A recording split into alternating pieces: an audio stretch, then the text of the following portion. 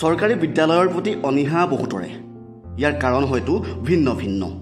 কিন্তু নাৰায়ণপুৰত এনে এখন চৰকাৰী বিদ্যালয় আছে যাৰ শৈক্ষিক পৰিৱেশ প্ৰত্যক্ষ কৰিলে সকলোৰে মন ভাল লাগি যাব।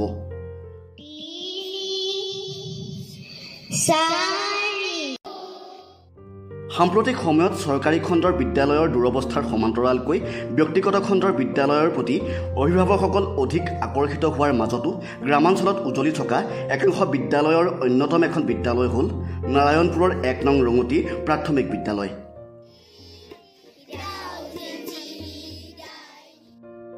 দুৰ্বল আন্তঃগাঁথনিৰ মাজতো বিদ্যালয়খনৰ শৈক্ষিক পৰিৱেশ আৰু সফলতা দেখিলে আপুনিও অভিভূত হ'ব।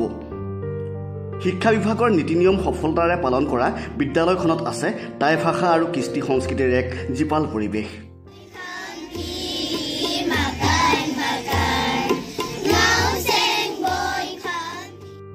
নাৰায়ণপুৰৰ ৰঙতি অঞ্চলত ঊনৈছশ তেত্ৰিছ চনতে প্ৰতিষ্ঠা কৰা হৈছিল প্ৰাথমিক বিদ্যালয়খন। সেই হিচাপত বিদ্যালয়খনে শতৰ বৰ্ষ গৰকিবলৈ আৰু মাত্ৰ দহটা বছৰ বাকী। মৰমৰ স্কুল ঊনৈছশ তেত্ৰিছ চনতে এই বিদ্যালয়খন প্ৰতিষ্ঠিত হৈছিলে। আৰু এই বিদ্যালয় যেতিয়া প্ৰতিষ্ঠিত হৈছিলে তেতিয়া আৰু এই অঞ্চলত হাবি জংঘলে ভৰা আছিলে। গতিকে আজি তেনেকুৱা এটা অৱস্থাৰ পৰা আহি স্কুলখনৰ জাকত জিলিকা অৱস্থা পোৱাৰ কাৰণে আমি সকলো ৰঙতি ৰাইজ গৌৰৱান্বিত গৌৰৱান্বিত। বৃহত্তৰ অঞ্চলটোৰ শিক্ষাৰ বাটকটীয়া বিদ্যালয়খনে অতীজৰে পৰা সুনাম কঢ়িয়াই অনাৰ লগতে বৰ্তমান প্ৰতিটো গুণোৎসৱত এ প্লাছ গ্ৰেড লাভ কৰিবলৈ সক্ষম হৈছে। বেষ্ট এছ এম চি হিচাপে আমি দুবাৰ পাইছোঁ আৰু ইতিমধ্যে আমাৰ প্ৰথম ব্লকৰ ভিতৰত প্ৰথম আমাৰ সংগীতত প্ৰথম স্থান পাইছে আৰু গুণোৎসৱতো আমাৰ জিলা হয় বেছি স্কুল হিচাপে আমাৰ পাইছে আৰু আমি গুণোৎসৱত মোৰ কাৰ্যকালত আমি এ প্লাছেই পাই আছোঁ আৰু আমাৰ শিক্ষাগুৰুসকল যথেষ্ট পুৱাৰ প্ৰাতঃসভাৰ পৰা পাঠদানলৈকে সকলোতে আছে সুশৃংখলিত পৰিৱেশ।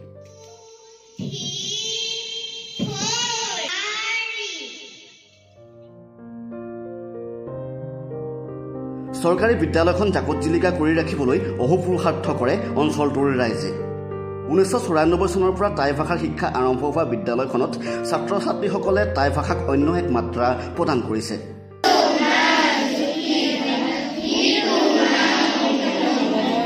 পাঁচগৰাকী শিক্ষাগুৰু আৰু তিনিগৰাকী স্বেচ্ছাসেৱী শিক্ষকে ছাত্ৰ ছাত্ৰীক পাঠদান কৰাৰ লগতে সংগীতৰ শিক্ষাও প্ৰদান কৰি আহিছে। অৱশ্যে শতাধিক ছাত্ৰ ছাত্ৰীয়ে অধ্যয়ন কৰা বিদ্যালয়খনত নাই উপযুক্ত শ্ৰেণীকোঠা চৌহদৰ বেৰা অথবা খেলপথাৰ।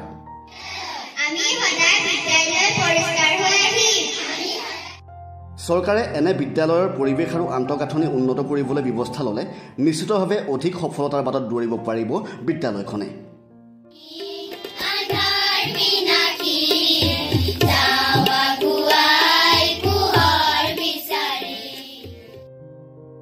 চাণক্য বৰুৱাৰ প্ৰতিবেদন লোকেল এটিন